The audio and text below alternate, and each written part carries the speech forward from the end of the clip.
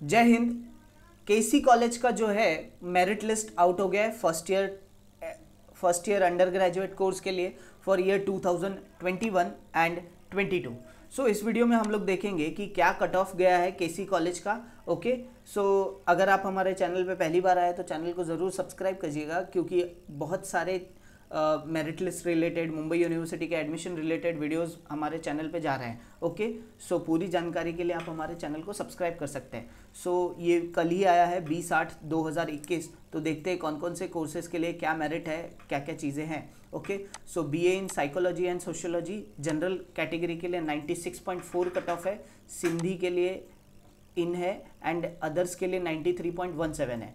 B A economics and commerce के लिए 91 percent cut off है okay and Sindhi is dash so and other के लिए 85 percent point six seven BAF के लिए 95 परसेंट कट ऑफ़ है. बैफ के लिए 95 percent for general Sindhi is 90 and others is 91 B A in F T N M P that is B A in film T V new media production arts so उसके लिए 92 percent cut off है and Sindhi के लिए 83 percent cut off है.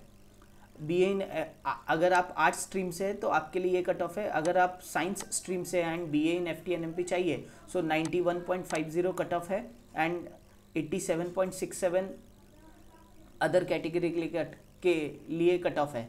B N F T N M P अगर आप commerce से है ninety percent cut off and eighty percent for Sindhi okay others के लिए overall eighty seven percent cut off है।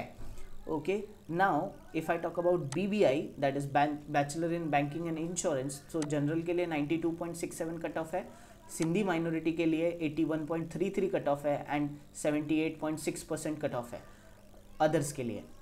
बीकॉम के लिए 96.15 कट ऑफ़ है, सिंधी के लिए कोई भी कट ऑफ़ नहीं दिया गया है and 89 percent it is for others B F M अगर आपको करना है bachelor in financial marketing so 95 percent cut off है and 89 and 84 after that arts के लिए है ये और साइंस के लिए जो कट ऑफ़ है BMM के लिए इट इज़ 93.17 एंड 82.80 एंड 92.17 अगर आप कॉमर्स से है सो so कॉमर्स के लिए 93.80 89.00 for Sindhi minority and overall 92 percent commerce के लिए अभी BMS अगर आप करना चाहते हैं आर्ट्स है तो जनरल के लिए 94 है, सिंधी माइनॉरिटी के लिए 92.2 परसेंट है अदर्स के लिए कुछ भी नहीं दिया गया है। BMS साइंस के लिए है तो 94.33 परसेंट चाहिए 87 13 परसेंट वन परसेंट चाहिए।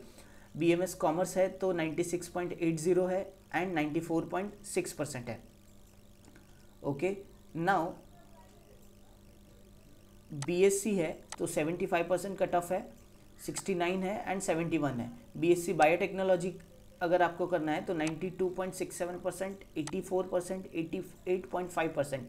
BSc computer science है तो 83 percent, seventy percent and 77.17 percent. B S अगर आपको करना है तो 90 percent, seventy percent and 87 percent. Ninety percent for general category 75 percent for Sindhi minority and 87 percent it is for other category BSc yoga करना ये एक नया कोर्स आया हुआ है सो एटी वन परसेंट उसमें बाकी अदर्स और सिंधी के लिए कोई भी कट ऑफ़ नहीं दिया गया है। Bachelor in vocational web technologies में अगर करना है तो eighty sixty eight percent cut off दिया गया है।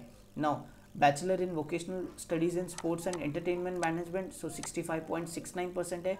B S C in data science and business analytics so it is seventy one point four zero bachelor in performing arts music dance and instruments so इसका sixty two percent okay so these all things are there for K C college I hope आपको ये जानकारी समझ में आई रहेगी।